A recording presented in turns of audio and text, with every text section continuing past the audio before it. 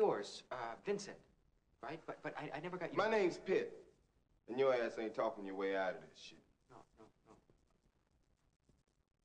I just want you to know how.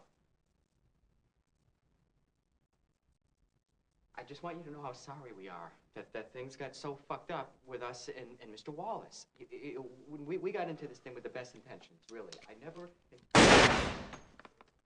Oh, I'm sorry. Did I break your concentration? I didn't mean to do that. Please, continue. You were saying something about best intentions? What's the matter? Oh, you were finished. Oh, well, allow me to retort.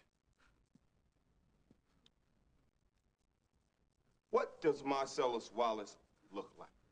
What? What country you from? What? What? What ain't no country I ever heard of? They speak English and what?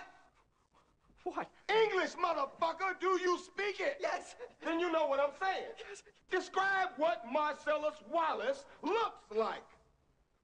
What? Say what again? Say what again? I dare you. I double dare you, motherfucker. Say what one more goddamn time.